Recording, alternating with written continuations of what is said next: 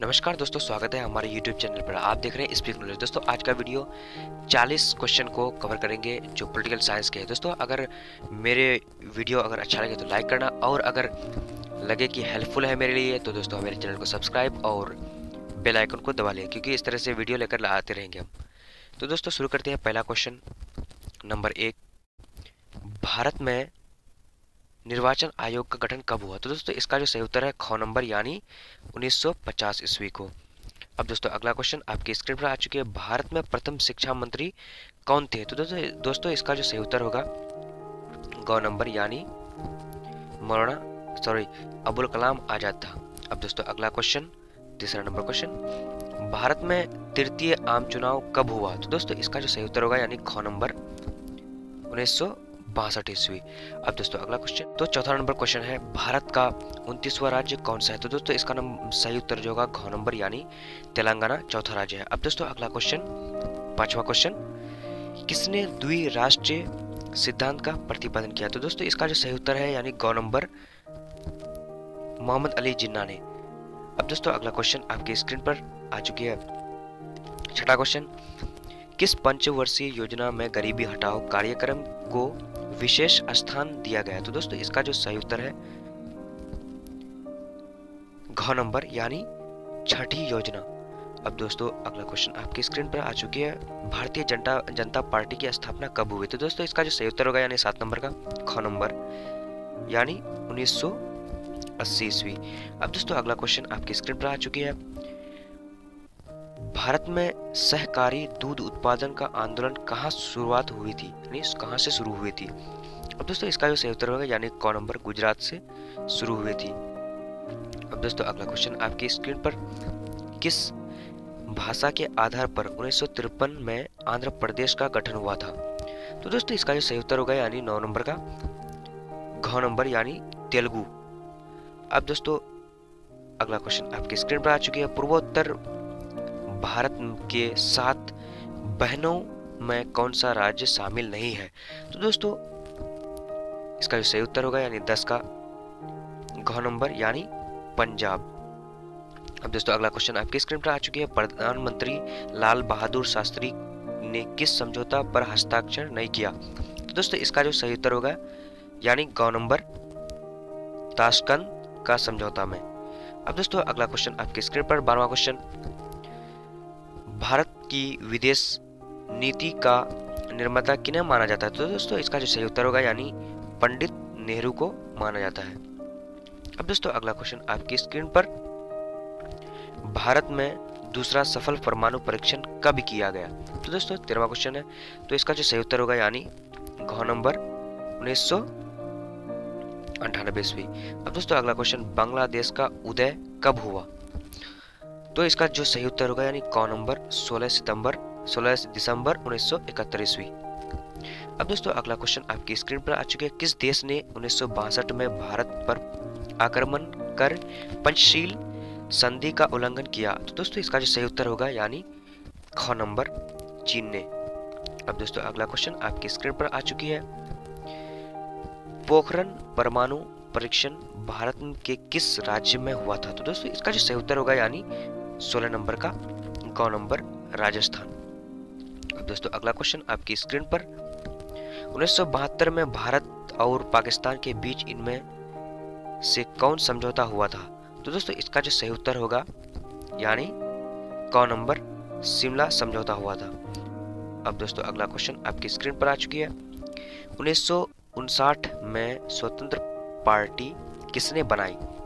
तो दोस्तों अठारवा क्वेश्चन यानी सही, इसका जो सही उत्तर होगा, सी गोपलाचारी। अब दोस्तों, अगला क्वेश्चन आपकी स्क्रीन पर आ चुकी है। 1977 के आम चुनाव में विजय पार्टी का नाम लिखें।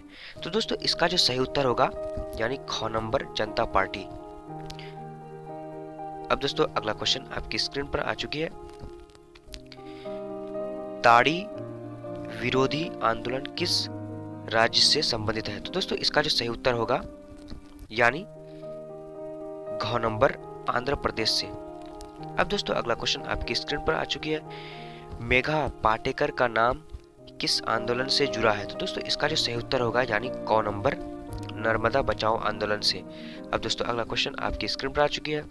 फरक्का समझौता का संबंध इनमें से किससे है? तो दोस्तों, इसका जो सही उत्तर होगा, यानी गौ नंबर भारत और बांग्लादेश के बीच। अब दोस्तों, अगला क्वेश्चन भागरा नंगल परियोजना किस नदी पर स्थित है? तो दोस्तों, इसका जो सही उत्तर होगा, तेईसवा क्वेश्चन का घ यानी सतलज नदी के किनारे। अब दोस्तों, अगला क्वेश्चन चौबीसवा क्वेश्चन आपकी स्क्रिप्ट पर आ चुकी है। नेहरू के निधन के बाद उनका राजनीति उत्तराधिकारी कौन बना?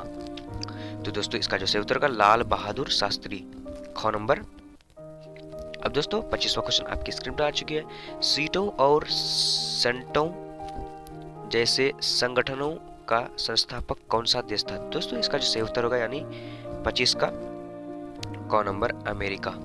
अब दोस्तों, अगला क्वेश्चन आपकी स्क्रीन पर आ चुके इनमें से कौन एक गुट निरपेक्ष आंदोलन के जनक नहीं थे? तो दोस्तों, इसका जो सही उत्तर होगा, यानी ख नंबर सॉरी ख नंबर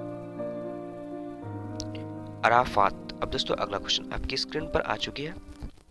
सताइसवा क्वेश्चन तो ध्रुवीय विश्व में पूर्वी गठबंधन का नेतृत्व किसने किया तो दोस्तों, इसका सही उत्तर होगा, यानी सताइस का कौ नंबर, यानी सोवियत संघ ने किया था।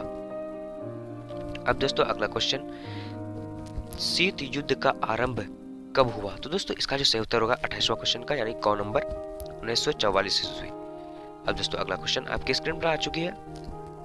संयुक्त राज्य अमेरिका में कुल कितने राज्य हैं? दोस्तों, ये काफ़ी बढ़िया इंपॉर्टेंट क्वेश्चन है। तो दोस्तों, इसका जो सही उत्तर होगा, यानी घ नंबर 50 राज्य है। अब दोस्तों, अगला क्वेश्चन आपके स्क्रीन पर आ चुकी है। तीसवा क्वेश्चन ब्रेज नेवे किस देश के राष्ट्रपति थे? तो दोस्तों, इसका जो सही उत्तर होगा, यानी क नंबर सोवियत संघ। अब दोस्तों, अगला क्वेश्चन आपकी स्क्रीन पर आ चुके अंतरराष्ट्रीय अणु ऊर्जा अभिकरण की स्थापना कब हुई? तो दोस्तों, इसका जो सही उत्तर होगा यानी क नंबर? उन्नीस सौ छप्पन ईस्वी। अब दोस्तों, अगला क्वेश्चन कौन नंबर, इनसे कौन सुरक्षा परिषद का अस्थाई सदस्य नहीं है? तो दोस्तों, इसका जो सही उत्तर है कौन नंबर, यानी इटली। अब दोस्तों, अगला क्वेश्चन आपकी स्क्रीन पर। सार्क का सबसे बड़े देश का नाम बताएँ। तो दोस्तों, इसका जो सबसे बड़ा देश है तैतीसवा क्वेश्चन है, बढ़िया क्वेश्चन है। तो इसका जो सही उत्तर होगा, यानी ख नंबर।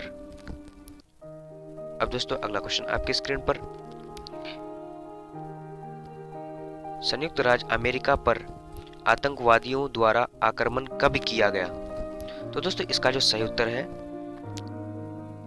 चौतीस का, गौ नंबर, यानी 2001 अब दोस्तों, अगला क्वेश्चन पहली खारी युद्ध किस वर्ष लड़ा गया? तो दोस्तों, इसका जो सही उत्तर है 35 का घ नंबर, यानी 1990 ईस्वी। अब दोस्तों, अगला क्वेश्चन आपकी स्क्रीन पर आ चुकी है। भारत ने श्रीलंका में अपनी शांति सेना कब बनाए भेजी? दोस्तों, इसका जो सही उत्तर होगा ग नंबर, यानी उन्नीस सौ सतासी ईस्वी में। अब दोस्तों, अगला क्वेश्चन आपकी स्क्रीन पर आ रही है। आ चुकी है। तो दोस्तों सुरक्षा परिषद में कुल कितने सदस्य होते हैं? तो दोस्तों, इसका जो सही उत्तर होगा, यानी घ नंबर पंद्रह। अब दोस्तों, अगला क्वेश्चन निम्नलिखित में कौन सी संधि, अस्त्र नियंत्रण संधि थी? तो दोस्तों, इसका जो सही उत्तर होगा, अड़तीसवा क्वेश्चन है। घ नंबर, यानी इनमें से जो सभी है। अब दोस्तों, अगला क्वेश्चन आपकी स्क्रीन पर।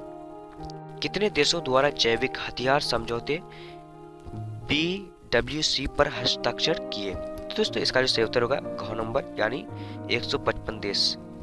अब दोस्तों, अगला क्वेश्चन वैश्वीकरण का समय